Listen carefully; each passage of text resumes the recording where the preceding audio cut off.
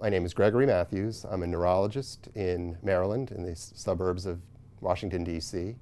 I specialize in epilepsy. I am, uh, I've been in practice for 16 years uh, outside of my training.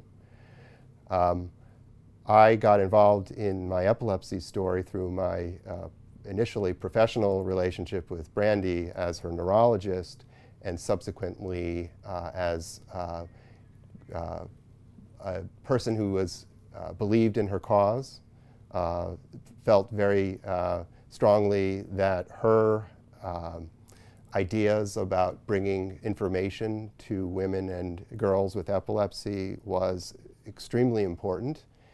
Um, and the way that you do that is one person at a time. You, you make uh, an impression one person at a time and change their life, and that's the way you go forward.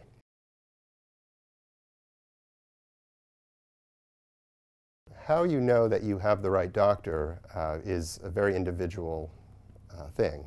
Um, first of all, it's important to realize that uh, the epilepsy is a complicated condition. Uh, there are people who have partial seizures, people who have generalized seizures. Um, there are people whose seizures are well controlled with their medications, and there's people whose seizures are not controlled at all. So the patient is going to have a very different experience depending on their specifics of their condition. Um, doctors are different as well. Doctors, some doctors uh, are very authoritative and to the point, and some doctors are more uh, uh, probing and uh, listening to women's uh, complaints and issues. Um, and I find that uh, people interact with their doctors uh, very differently, and, and some people have, may have a certain expectation or a certain desire for a certain type of physician, and others um, don't. So I think the, my my main uh, advice to a woman who is trying to decide if they have the right neurologist is just how comfortable they feel. When you go to your visit, uh, are your questions answered? Um, do you feel the neurologist is listening to you, to your concerns? Um, when they do listen to you, do they give you helpful advice? Do they seem like they're knowledgeable in their area? Uh, any one of those criteria uh, can be a deal breaker. Uh, for instance, if the doctor you don't feel is listening to your concerns but is focused on their uh, specific concerns, uh, that might, may not be a good match because in the future when things get complicated such as pregnancy, um, you may not have that uh, doctor's uh, full attention. Um, and the other uh, criteria, whether they're sufficiently expert in, the, in this condition is another factor. So um, you know, many neurologists train in very general neurology. They see lots of things that are uh, common in the neurology field. They see uh, people with, uh, with strokes, with dementia, with uh, multiple sclerosis, and they may have uh, a cursory uh, or superficial knowledge of epilepsy, particularly when it comes to women and, and, and in pregnancy in specific, um, and may not have the expertise that you feel that you need if your condition is particularly complex. So you should be asking some questions early on as to whether you feel that they're sufficiently experienced in, in, in uh, uh, epilepsy and the management of epilepsy.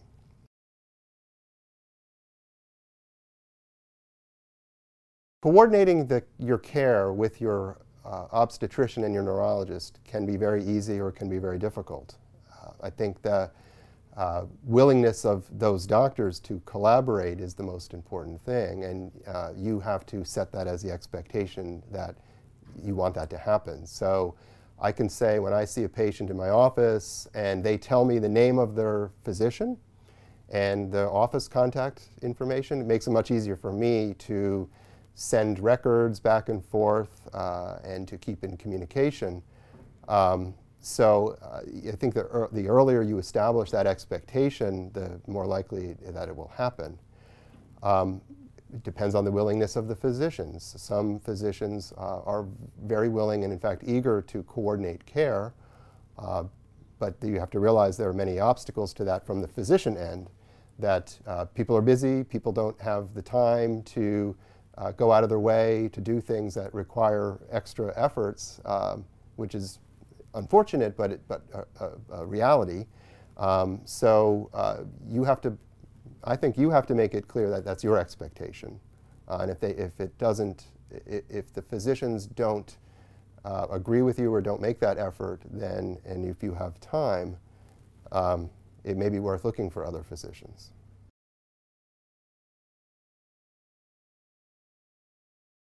So the question of what to do if you're not comfortable with your physician is an important one. And I think that nowadays uh, patients as consumers are fairly savvy. They know what else is out there. They know they can get online and look at doctors' uh, credentials, reviews, etc. And uh, not always th those that information is not always accurate. Of course, when you read a review of a doctor, it's just like reading a review of a restaurant. You might have a person who had a bad day or a bad experience. Uh, it doesn't reflect the overall quality or, or experience of the doctor.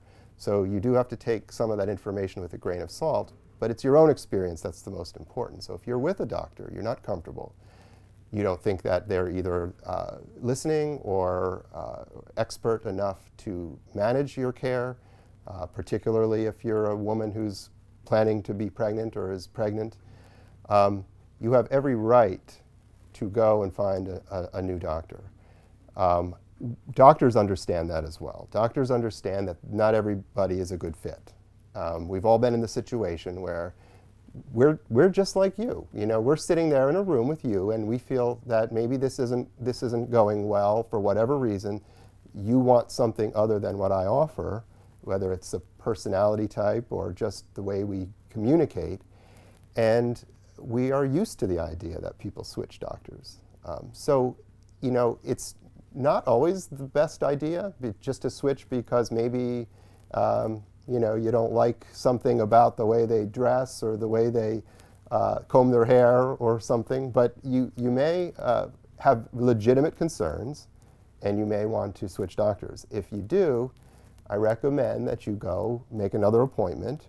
You don't have to you don't have to make it public initially. You can go see the other doctor and say I'm looking for a new neurologist, would you be you know, able to meet with me and, and, and discuss my care and let's see how it goes. This happens all the time with me. Um, and if it does go well and you think this would be a better person for you, you, you ask the new office to collect the records from your old doctor, uh, get all the records you possibly can to help facilitate the transition, and you go ahead and you do it. Remember, it's, it's important. It's your life, um, if you're pregnant, it's the life of your baby, and you need to feel comfortable. Um, if you feel worried or uh, um, uh, concerned that you're going to stir up trouble by switching doctors, I think that most of us are beyond that. We understand that that's, that, that happens.